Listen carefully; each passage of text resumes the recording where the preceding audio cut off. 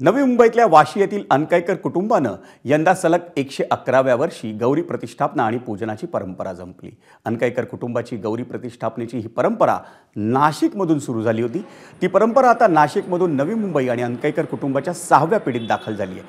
विशेष म्हणजे गो गौराईला परिधान करण्यात येत असलेला पितळी मुकुटही एकशे अकरा वर्ष जुना आहे.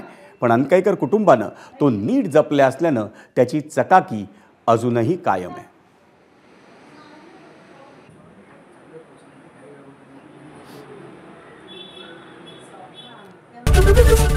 एबीपी माझा. उघडा डोळे बघा नीट.